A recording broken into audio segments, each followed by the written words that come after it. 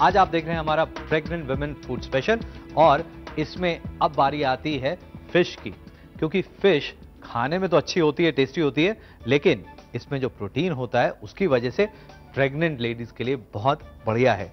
अगर आप फ़िश खाते हैं तो बहुत ही अच्छी बात है। तो फ़िश तैयारी करते हैं। कौन सी फ़िश बनाई जाए? कोई सिंपल सी फ़िश बनाते हैं। पातरानी मच्छी, पारसी डिश है। इसको बनाना कैसे है, चलिए मैं आपको बता देता हूँ। इसमें जो फ़िश हमने ली है, वो ली है पॉम्फ्रेट और पॉम्फ्रेट को बोनलेस किया है। यदि आप नहीं कर सकते, जो जहाँ से मछली आप लेते हैं फ़िश जहाँ से खरीदते हैं, वहाँ पर आप उनको बोले तो फ़िश आपको बोनलेस करके दे देंगे।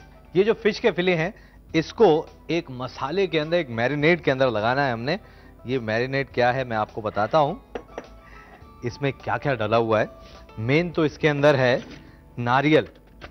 हाँ नारियल का मसाला है और उसके साथ खूब सारा धनिया। अब धनिया आप जानते हैं, हरा धनिया होता है और इसमें काफ़ी आयरन रहता है, जो प्रेग्नेंट वेमेन के लिए काफ़ी अच्छा होता है और जो कोकोनट है, उसमें भी काफ़ी प्रोटीन है, वो भी काफ़ी अच्छी क्वालिटी का प्रोटीन है।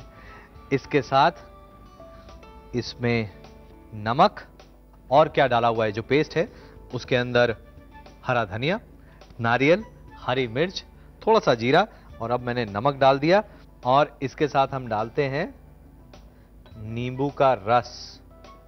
और हाँ ये जो हमने बनाया है, पीसते समय थोड़ा सा लहसन भी डाला है भाई टेस्ट तो होना ही चाहिए इसके अंदर। ये इसे अच्छी तरह से मिक्स कर दिया हमने, और फ़िश के पीसेस इसके अंदर। और ये जो फ़िश है, इसका नाम है पातरानी मच्छी। वो इसलिए क्योंकि इसको हम बनाते हैं केले के पत्तों में, केले के पत्ते ले लें और आप इसको काट लें। और ये जो फ़िश है, इसका पीस ले लिया हमने, और ये जो नारियल का मसाला है थोड़ा, ये भी डाल दिया ऊपर से। और इसे फोल्ड कर देते हैं। ये जो पातरानी मच्छी है, इसे स्टीम भी किया जा सकता है, और इसे आप तवे पे भी पका सकते हैं। ये देखिए, ये पार्सल तैयार हो गया।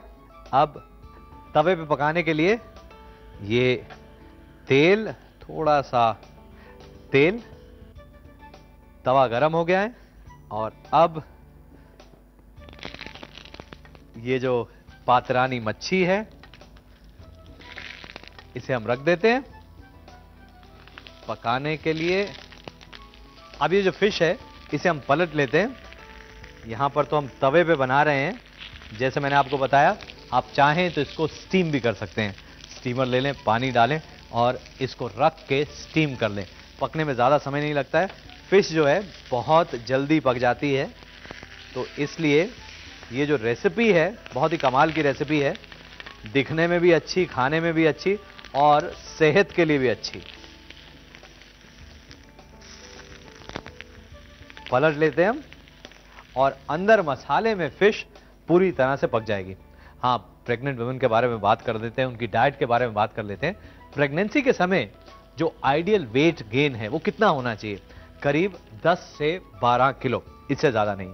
मैं जानता हूँ कि बहुत सारी बहुएँ जो हैं, वो बहुत परेशान हो जाती हैं अपनी सास से, अपनी माओ से, कि भाई वो कहती रहती कि खाएँ खाएँ खाएँ, और वज़न इतना ज़्यादा बढ़ जाता है कि परेशानी हो जाती है। इस समय मैं जानता हूँ बहुत सारी और प्रॉब्लम साथ में हो जाती हैं। कुछ लोगों का वेट बढ़ जाता है, लोगों का शुगर लेवल बढ़ जाता है तो खाने में ध्यान रखना चाहिए। तो जो आपका वेट गेन है, वो 10 से 12 किलो तक ही होना चाहिए।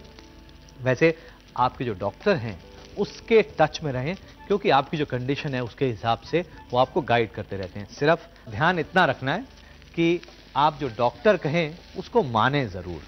वो इसलिए क्योंकि इसमें सिर्फ़ आपकी ज़िंदगी नहीं, आपके बच्चे की ज़िंदगी भी निर्भर करती है कि कैसी रहेगी, स्वस्थ जीवन रहेगा या नहीं। जी हाँ शुरुआत वहीं से होती है। अब ये जो फ़िश है, एक बार फिर पलट लेता हूँ मैं। और काफ़ी गर्म हो चुकी है ये। और अब इसको आपने निकाल कर सर्व करना है। ऐसे सर्व नहीं करें।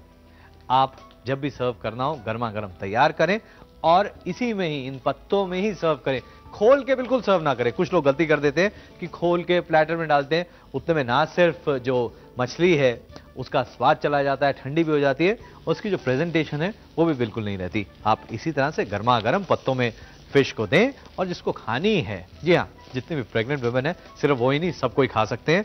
ये पात्रानी मच्छी। इसके बाद एक बहुत ही पौष्टिक खीर बनाने वाला हूँ मैं, जिसके अंदर फोलिक एसिड बहुत होता है। मैं जानता हूँ जितने भी प्रेग्नेंट वुमेन हैं डॉक्टर हमेशा कैप्सूल गोली फोलिक एसिड की ज़रूर देती है। तो देखिए, खीर में भी फोलिक एसिड कोई कैप्सूल नहीं है। क्या है? अभी नहीं, आप नोट करें इसके इंग्रेडिएंट्स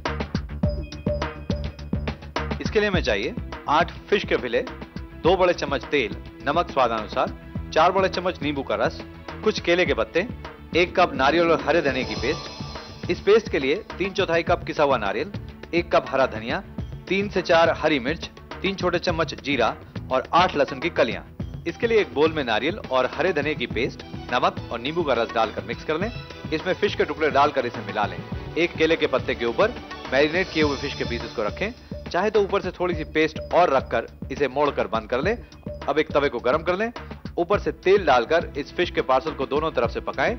जब केले के पत्ते थोड़े सुनहरे होने शुरू हो जाए और फ़िश अंदर से पक जाए, तब इसे निकालकर इसे गर्मा गर्म सर्व करें।